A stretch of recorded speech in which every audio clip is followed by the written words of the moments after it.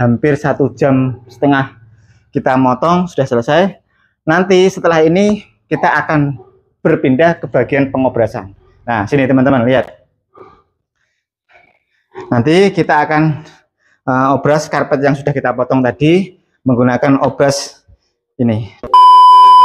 Halo assalamualaikum warahmatullahi wabarakatuh. Selamat datang di channel Siva Karpet dengan saya Umar. Selamat menjalankan aktivitas bulan puasa untuk teman-teman yang saat ini menjalankannya. Dan kalian saya akan ajak ke rumah saya. Ini kondisinya sangat penuh dengan karpet ya karena barusan tadi malam ada satu truk barang masuk dan karena gudang kami juga lagi penuh makanya terpaksa karpet kita stok di rumah. Tapi nggak apa-apa, yang paling penting biar untuk stok kita bulan puasa ini aman.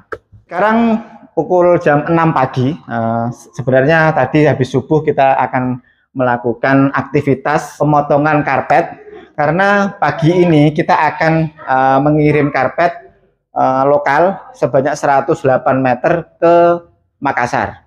Seperti yang kemarin-kemarin ya. Jadi uh, orderan ini kami uh, dihubungi oleh Pak Fitra, beliaunya asli Surabaya dan nanti untuk karpetnya ini langsung dikirim ke Makassar. Nah, kita lihat uh, karpetnya seperti ini, teman-teman. Nah, karpetnya seperti ini. Nanti kita akan potong uh, roll ya. Nanti kita akan potong empat roll. Dan karpet yang dipilih, teman-teman di sini, lihat. Karpet yang dipilih ini adalah karpet merek Dinasti uh, lokal, produksi daripada Belindo Karpet. Nah, kita akan mengerjakan empat roll langsung sekarang dan nanti untuk kameranya saya akan pindah ke tripod biar pengerjaan pagi ini bisa cepat selesai karena untuk ekspedisinya tutupnya jam 1 ya. Jadi kita harus selesaikan dengan secepat mungkin dan sebagus mungkin pengerjaannya. Oke, kita akan pindah dulu kameranya.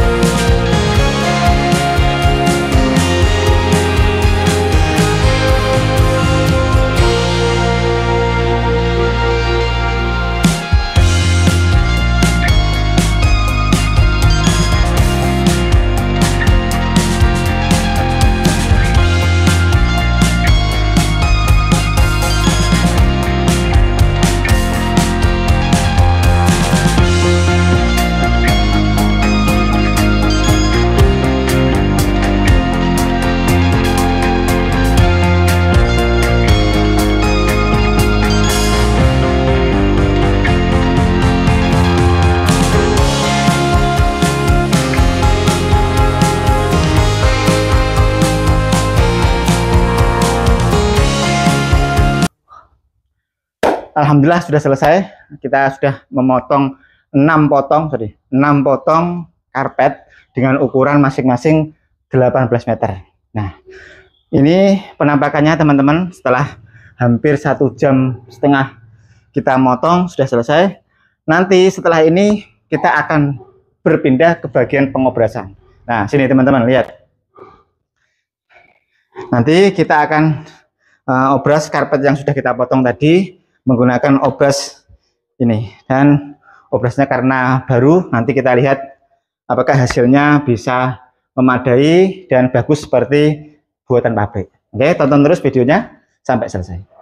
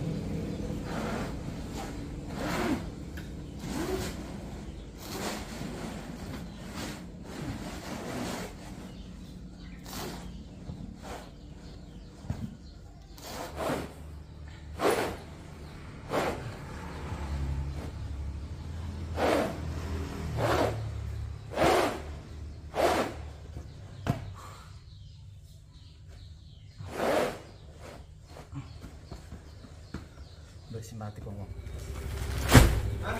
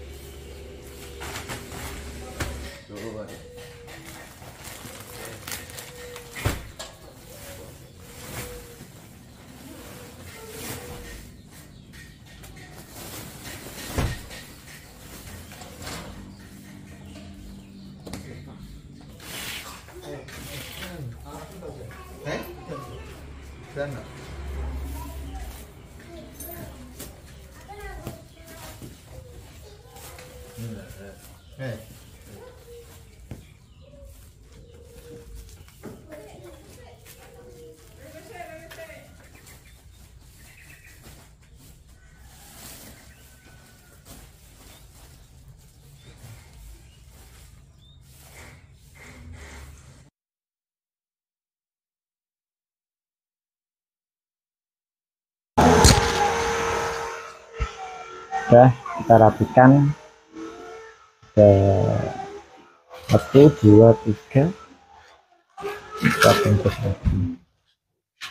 Nah, ini langsung kita berangkat ke ekspedisi di Surabaya untuk pengiriman.